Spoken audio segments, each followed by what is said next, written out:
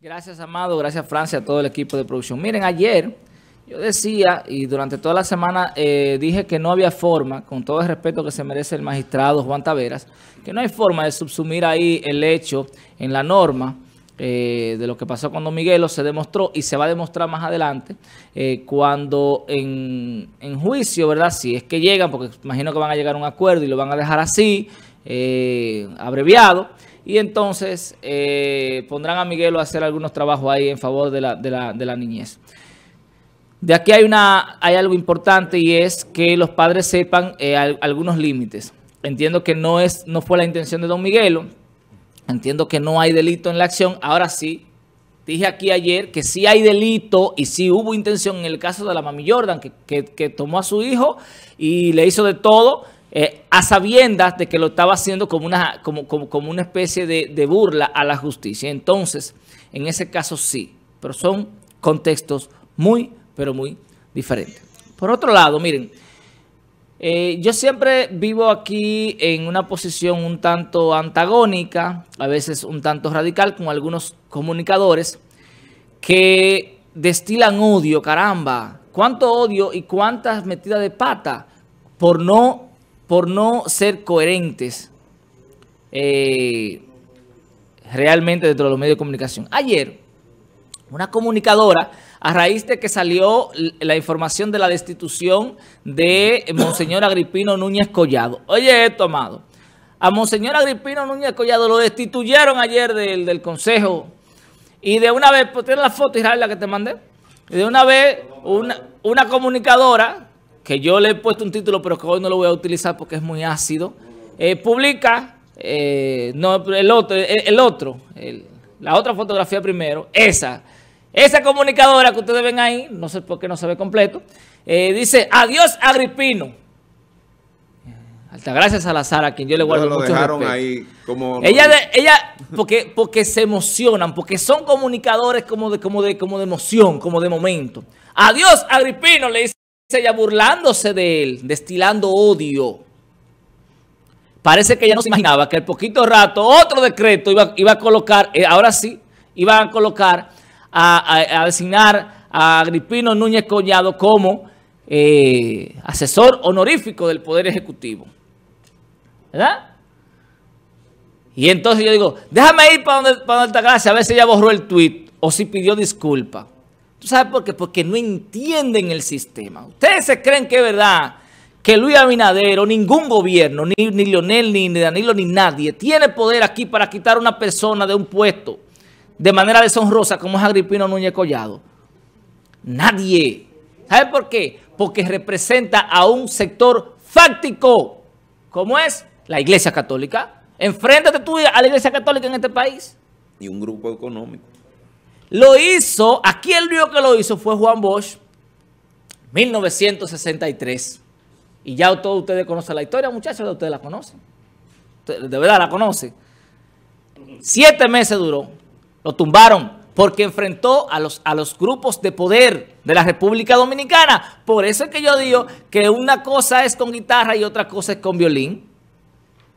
Y me parece eh, que muchos comunicadores como que, como que a veces como que no entienden el sistema. Me pareció ayer eh, tan, tan extraño ver a esta comunicadora, adiós Agripino, en un tono de burla. Y después viene el propio Abinader y le dice, toma, para que te calle. Y colocan a Agripino como asesor honorífico del Poder Ejecutivo. Nadie aquí en este país ha podido enfrentar a los sectores fácticos, a esos poderes fácticos, sin una consecuencia.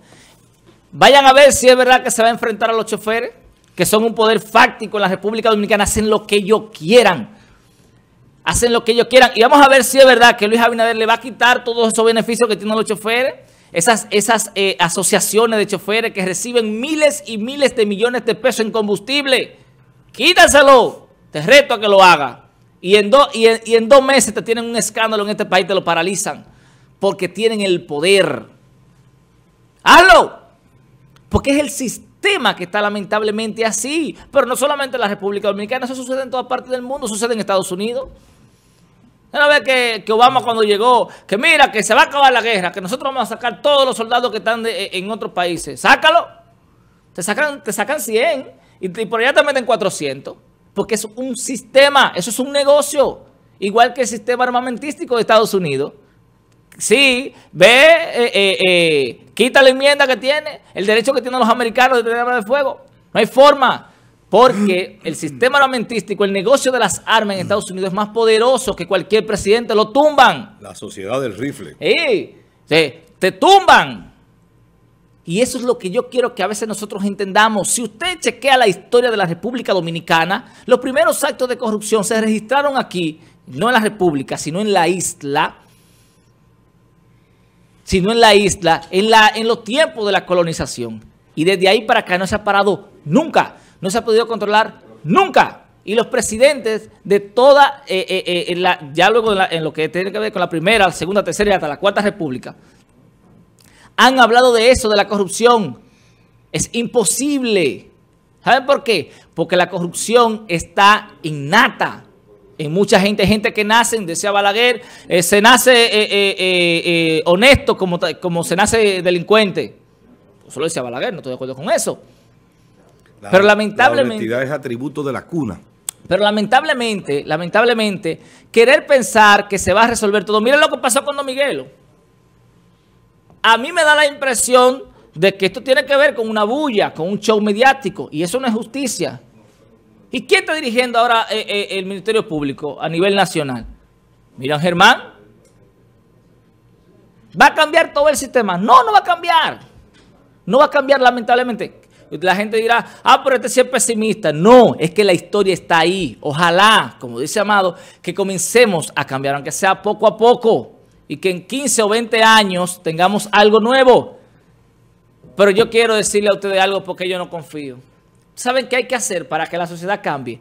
Comenzar desde cero y olvidarnos de, ya de, todo lo que ya somos eh, de esta sociedad y crear una sociedad nueva. ¿Con quién? Con los niños desde cero, desde que nacen. Educarlos en función de una sociedad no corrupta. Pero ¿cómo, cómo nosotros podemos lamentablemente crear eh, eh, una sociedad nueva mientras ellos van viendo todo lo que pasa? Ese tipo de cosas que suceden eh, a lo interno del sistema de justicia. O que resulta que viene un, un, diputado, un dirigente de un partido y dice, yo encontré que un micrófono en una jipeta me estaban espiando, pero resulta ser que nadie lo investiga y eso se queda callado. Pero resulta ser que aparecen que 200 presos nombrados que estaban en la cárcel, pero nadie investiga quién hace la denuncia. Mientras no comencemos desde cero, no se va a arreglar nada. Lamentablemente, nada si no comenzamos desde cero. Por eso eh, cuando habla Platón en, su obra La República, habla de, que para poder crear un Estado realmente honesto, hay que comenzar desde cero, desde allá abajo, creando una educación especial para esa nueva sociedad.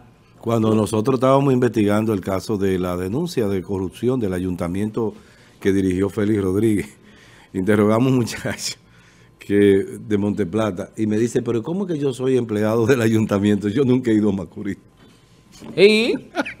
yo nunca he ido a Macorís. Yo ni sé dónde queda Macorís. Lamentablemente, y yo solo voy a presentar, lo prometo, que la próxima semana le voy a traer, ojalá sea el lunes o el martes, eh, la recopilación de lo que dijeron los presidentes en la República Dominicana. Todos iban a luchar contra la corrupción y eso eran unos aplausos. Había que ver cómo aplaudieron a Balaguer cuando dijo la corrupción, no habrá corrupción sin sanción. Lo dijo en 1986. Lo dijo Balaguer. Y se fue abajo eso, un aplauso. ¿Y qué pasó? Pero igual Leonel, igual Danilo, igual todos lo van a decir. El problema es que tenemos que comenzar a trabajar con los de abajo, con, los, con esos niños con los que nacen ahora, con los que todavía eh, eh, eh, no, no pueden ver lo que sucede en los medios de comunicación. Con ellos que tenemos que comenzar con la niñez, a formarlo para una sociedad distinta. Con esta no, no crean ustedes que va a suceder nada. Que reformar la policía, métete a la policía a reformarla. Métete ahí con esos caudillos que hay ahí, esos coroneles y esos generales que se han buscado y que se buscan muchísimos millones de pesos. Ve, reformala. ¿Cómo? Si la corrupción es con la corrupción que se mueve. Donde quiera, lamentablemente. Miren, para terminar, tengo aquí un comunicado que me envía un doctor de, de, mucha, de mucha trayectoria aquí en San Francisco de Macorís. Eh, esto es un comunicado del equipo médico, ¿verdad? Sí. El equipo de salud del Partido Revolucionario Moderno. Atención a esto, lo vengo advirtiendo hace tiempo y dijeron que era un chisme. Dice, el equipo de salud del Partido Revolucionario Moderno expresa su insatisfacción ante la actitud asumida por la máxima dirigencia del partido de, en la provincia de Duarte, que han ignorado y desconsiderado a los más prestigiosos médicos especialistas que conforman este frente de profesionales que han dedicado su esfuerzo, tiempo, recursos económicos para lograr el triunfo de Luis Abinader, imponiéndole una superestructura, oigan esto señores, una superestructura dirigencial que no pertenecen a nuestra máxima dirigencia y cuyo perfil profesional no califica para protagonizar la representación de un sector tan importante. Por lo que hacemos un llamado a la sensatez de nuestros dirigentes locales a no sobreponer los intereses politiqueros y famosos amarres que tanto daño le hacen a la práctica Pero política tradicional y que creíamos desterrado desde el parti- de este partido llamado Revolucionario Una Moderno. pregunta.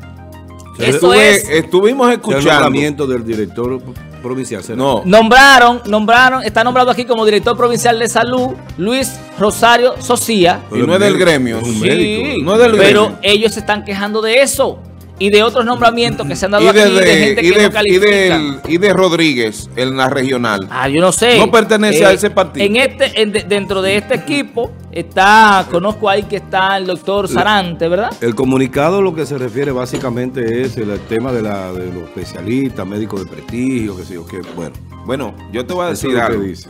Lo que, su- lo que vivimos aquí, nos pudimos dar cuenta qué fue lo que pasó. Nosotros, lamentablemente, nuestras autoridades de salud se enfermaron a principios de la pandemia, fueron de los primeros. Eso quería decir que estaban en primera línea tratando el tema. Pero la presencia de Valerie, y no la conozco, la hemos tenido aquí como invitada, epidemióloga, eh, Epidemióloga. epidemióloga. Sí, pero no creo que eso vaya por No, ese no, lado. no, no, No, espérate, espérate. Ya yo hice la denuncia. Ha demostrado, Pero ha demostrado, no, no, estoy haciendo un reconocimiento a Valerie de que. Bien. de que el, el gobierno, porque ella es guardia, ella no es política, Sí.